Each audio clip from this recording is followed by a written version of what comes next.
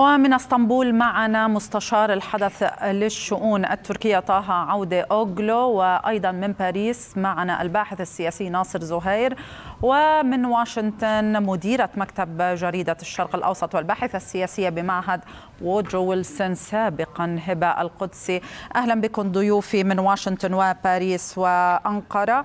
سأبدأ مع ضيفي من أنقرة. سيد أوغلو تركيا تقدم الآن المساعدة لإيران في البحث عن طائرة الرئيس رئيسي.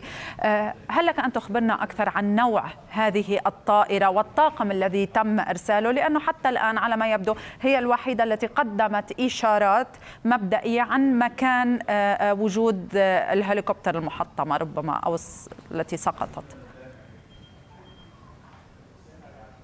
نعم في البداية أستاذ رولا ولضيوفك الكرام وللساده المشاهدين. يعني كما تابعنا في الساعات قبل ساعات من الآن كان هناك طلب إيراني من تركيا وخاصة فيما يتعلق بالمساعدة. وزارة الدفاع التركية أرسلت طائرتين. الطائرة الأولى كانت هي مسيرة من طراز كينجي والتي هي قبل قليل أعلنت بأنه تم تحديد مصدر حرارة محتمل لموقع تحطم الطائرة.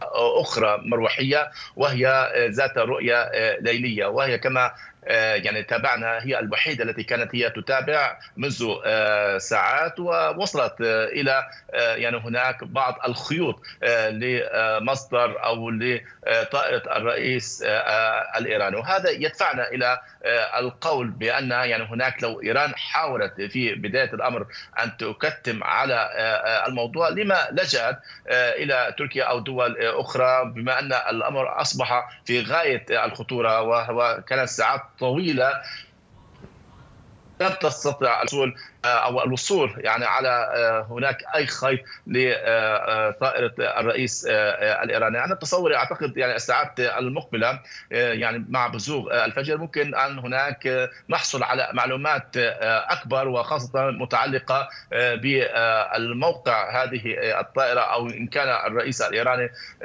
ما زال حيا أو هناك خبر غير صار. كل هذا هو متوقف بالتصريحات التي تصدر سوف تصدر من قبل الإيرانيين، بالإضافة إلى هذا الموضوع بما يتعلق بالطائرات، تركيا أيضا أرسلت كما تعلمين هناك فريق إنقاذ لمتابعة هذا الحدث وهناك قامت بإرسال التحديثات التي وصلتها من قبل طائرة كينجي إلى السلطات الإيرانية قبل ساعات من الآن. نعم.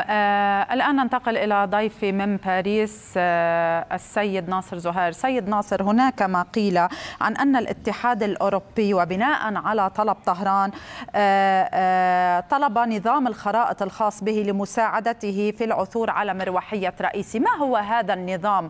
كيف يعمل؟ وكيف يمكنه أن يساعد إيران؟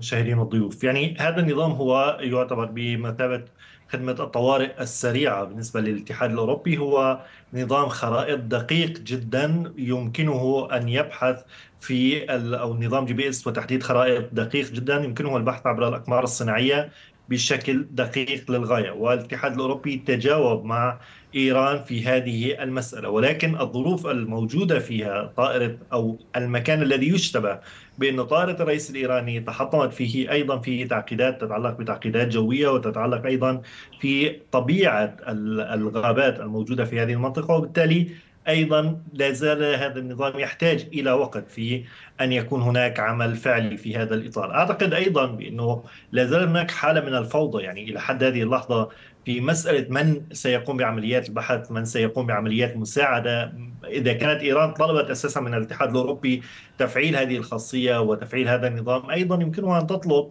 مثلا طائرات متطورة من دول الاتحاد الأوروبي بالإضافة إلى تركيا أيضا.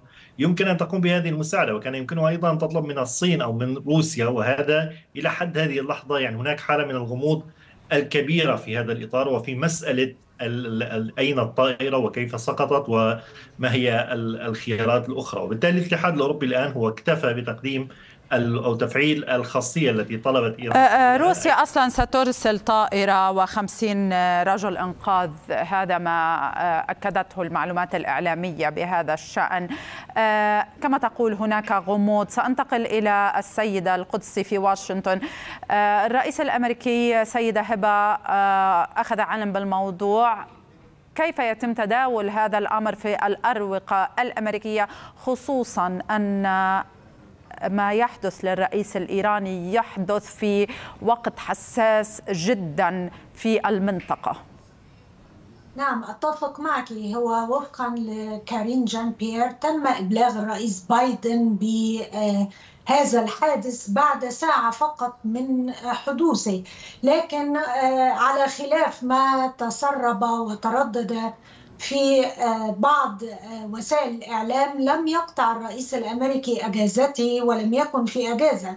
يعني استمر في جدوله المحدد بعد إلقاء خطاب في كلية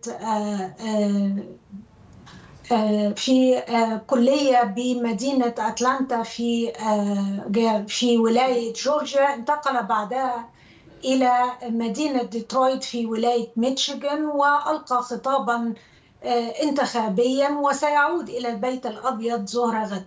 وبالتالي ما يعني ما صدر عن البيت الأبيض والخارجية الأمريكية هو فقط بيان متحفظ للغاية. يتعلق بأن الولايات المتحدة تراقب الوضع عن كسب. لكن ليس هناك أي تفاصيل وهناك تحفظ من البيت الأبيض وأيضا من المشرعين الأمريكيين على التعليق على هذا الحادث انتظارا لما ستعلنه عمليات البحث وانتظارا لما ستعلنه وسائل الإعلام الإيرانية. لكن بشكل عام هناك استعداد أمريكي أو بحث أمريكي عن السيناريوهات المقبلة في إيران. ماذا سيكون مسار الأوضاع إذا ما تم العثور على الطائرة؟ وكان هناك فرضية لاحتمال وفاة كل من كان على متن هذه الطائرة. ماذا ستقدم إليه إيران من تحركات خلال فترة الخمسين يوما القادمة؟ حتى إجراء انتخابات وهل سيكون هناك أسماء مرشحة من التيار المعتدل أم سيكون التيار المتشدد؟ وهذا سيعتمد على خيارات المرشد الأعلى. وبالتالي تتحسب واشنطن في الفترة الحالية لما ستؤول إليه الأمور بعد يعني إعلان نتائج التوصل إلى مكان الطائرة وإعلان نتائج البحث والفحص نعم. لحطام الطائرة وبالتالي كل هذه المسائل قيد المراجعة لكن المشهد العام لا يوجد هناك يعني توقع لتغيرات كبيرة في العلاقات الأمريكية الإيرانية. ليس على مستوى البرنامج النووي الإيراني أو البرنامج الصاروخي لكن هناك تساؤلات كثيرة فيما يتعلق بالاضطرابات الداخلية الديناميكيات التي يمكن أن تخرج من الشارع الإيراني. ماذا سيكون رد فعل المعارضة الإيرانية على الانتخابات القادمة؟